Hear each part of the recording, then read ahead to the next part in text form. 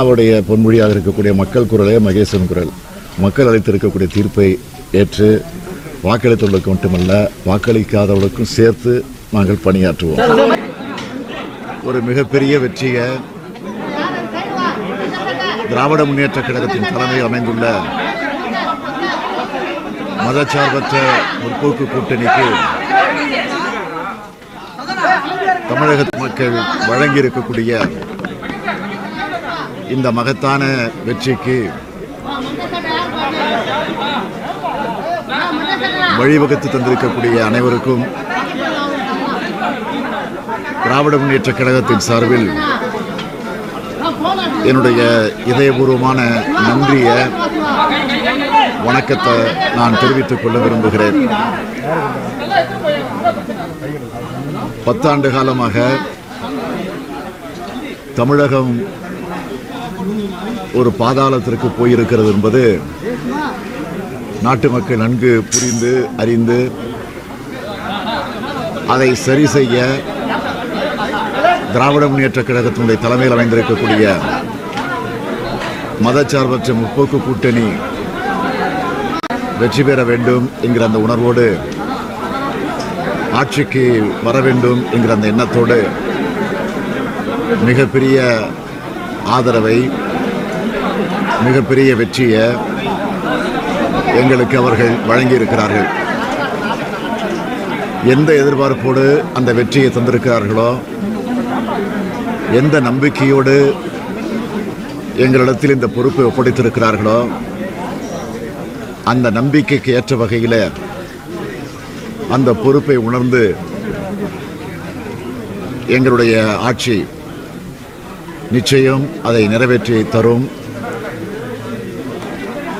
எங்களை எல்லாம் ஆளாக்கிய முத்தமிழறிஞர் தலைவர் கலைஞர் அவர்கள் ஐந்து முறை தமிழ்நாட்டினுடைய ஆட்சி பொறுப்பிலிருந்து முதலமைச்சராக இருந்து தமிழகத்தினுடைய மக்களுக்கு ஆற்றியிருக்கக்கூடிய பணிகள் ஆக அவைகளையெல்லாம் நாங்கள் உணர்ந்து அவர் வழி நின்று ஆறாவது முறையாக ஆட்சி பொறுப்பேற்கக்கூடிய திராவிட முன்னேற்ற கழக ஆட்சியின் சார்பில் அதையெல்லாம் நிச்சயம் எங்களுடைய முத்தமிழறிஞர் கலைஞர் அவர்கள் எப்படி எங்களை பயிற்றுவித்திருக்கிறார்களோ அந்த வழி நின்று எங்கள் கடமையை நிச்சயமாக ஆற்றுவோம். இன்னும் வெளிப்படையாக நான் சொல்ல வேண்டும் என்று சொன்னால் அவர் இருந்த காலத்திலேயே ஆறாவது முறையும் திமுக ஆட்சி பொறுப்பிற்கு வர வேண்டும். நாங்கள் எல்லாம் எண்ணி இருந்தோம் ஆனால் அது நிறைவேறாமல் போய்விட்டது என்பது எங்களுக்கு ஒரு ஏக்கமாகவே இருந்து வந்தது. ஆனால் அந்த ஏக்கம் இன்றைக்கு ஓரளவுக்கு போயிருக்கிறது என்பதை நான் உணர்கிறேன்.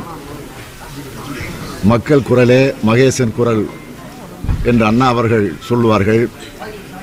ஆக மக்கள் அளித்திருக்கக்கூடிய இந்த தீர்ப்பை நாங்கள் ஏற்றுக்கொண்டு ஏதோ எங்களுக்கு ஆதரவளித்தவர்கள் வாக்களித்தவர்களுக்கு மட்டுமில்லாமல் எங்களுக்கு வாக்களிக்க தவறியவர்கள் அவர்களுக்கும் சேர்த்து இவர்களுக்கு நாம் வாக்களித்தது நன்மைதான் மகிழ்ச்சிதான் என்று உணரக்கூடிய வகையிலும் வாக்களிக்காதவர்கள் இவர்களுக்கு போய் வாக்களிக்காமல் நாம் போய்விட்டோமே என்று மக்கள் எண்ணக்கூடிய அளவிற்கு நிச்சயமாக எங்களுடைய பணி அமையும். தேர்தல் நேரத்தில் நாங்கள் ஆட்சிக்கு வந்தால் என்னென்ன பணிகளை ஆற்றுவோம் என்று தேர்தல் அறிக்கையில் வாக்குறுதிகளாக உறுதிமொழிகளாக தந்திருக்கிறோமோ அவைகளையெல்லாம் படிப்படியாக நாங்கள் பொறுப்பேற்ற நாளிலிருந்து தொடர்ந்து அதை நிறைவேற்றுவதற்கான முயற்சிகளை முழுமையாக எங்களை ஒப்படைத்துக் கொண்டு பணியாற்றுவோம் என்ற உறுதியை நான் இந்த நேரத்தில் தெரிவித்துக் கொண்டு எப்படி ஐந்தாண்டு காலத்திற்கு தேர்தல் அறிக்கை தந்திருக்கிறோமோ அதே போல் பத்தாண்டு காலத்தை அடிப்படையாக வச்சு தொலைநோக்கு பார்வையோடு ஏழு அறிவிப்புகளை நான் ஏற்கனவே அறிவித்திருக்கிறேன். ஆக அவைகளையும் நிறைவேற்றுவதற்கான முயற்சிகளை முழுமையாக ஈடுபடுவோம் தொடர்ந்து பணியாற்றுவோம். அண்ணா வழி நின்று கலைஞர் எங்களுக்கு பயிற்றுவித்திருக்கக்கூடிய அந்த வழி நின்று எங்கள் கடமையை நிச்சயமாக நிறைவேற்றுவோம் என்று நான் உறுதி எடுத்துக் கொள்கிறேன்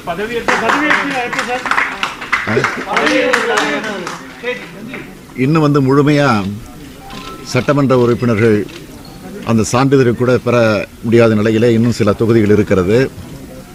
ஆக இன்று இரவு அல்லது நாளை காலையில் தான் அவைகளெல்லாம் முடிவடைய நிலையில் இருப்பதாக நான் அறிகிறேன். அப்படித்தான் எங்களுக்கு செய்திகள் வந்து கொண்டிருக்கிறது.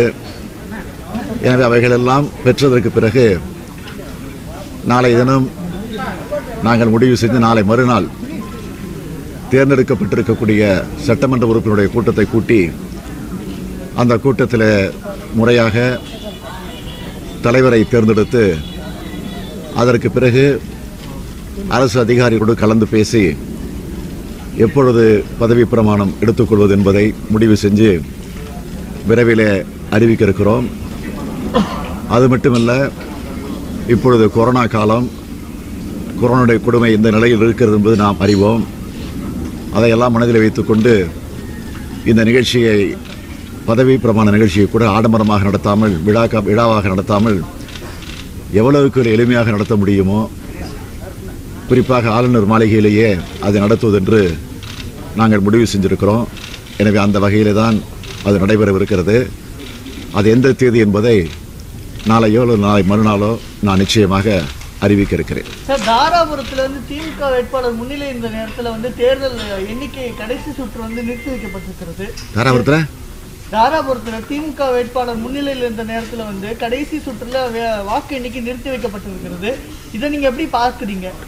நிறுத்தி வைக்கப்பட்டு எங்களுக்கு இந்த புகார் வந்து எங்களுடைய வழக்கறிஞர்கள் சம்பந்தப்பட்ட அதிகாரிகளோடு பேசி அதற்கு பிறகு அது முடிவு அறிவிக்கப்பட்ட செய்தி பார்த்து பார்த்துவிட்டு தான் நான் வந்திருக்கிறேன். சார் தேசிய தலைவர்கள் மாநில பல்வேறு கட்சி தலைவர்கள் உங்களுக்கு வாழ்த்து செய்திகளை சொல்லியிருக்காங்க. அவங்களுக்கு இந்த சமயத்தை நீங்க என்ன சொல்ல விரும்புறீங்க? அனைவருக்கும் நன்றி சொல்லியிருக்கிறேன். உடனடியாக அவர்களுக்கு நான் பதிலும் தந்திருக்கிறேன். எனவே அவருடைய அறிவுரைகள் ஆலோசனைகளையும் ஏற்று நான் செயல்படுவேன். ஒத்துழைப்பு தர வேண்டும். என்ற அந்த வேண்டுகோளையும் அவரிடத்தில் நான் எடுத்து வைத்திருக்கிறேன்.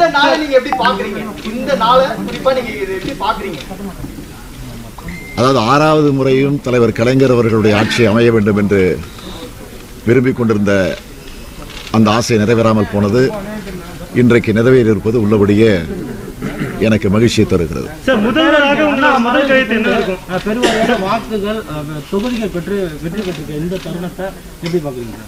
அண்ணா மறைவுக்கு பின்பு பெருவாரியான வாக்குகள் தொகுதிகள் பெற்று வெற்றி பெற்றிருக்க திமுக? அதான் சொன்னேன் ஆரம்பத்தில் அண்ணாவுடைய பொன்மொழியாக இருக்கக்கூடிய மக்கள் குரலே மகேசன் குரல். மக்கள் அளித்திருக்கக்கூடிய தீர்ப்பை ஏற்று வாக்களித்தவர்களுக்கு மட்டுமல்ல வாக்களிக்காதவர்களுக்கும் சேர்த்து நாங்கள் பணியாற்றுவோம்.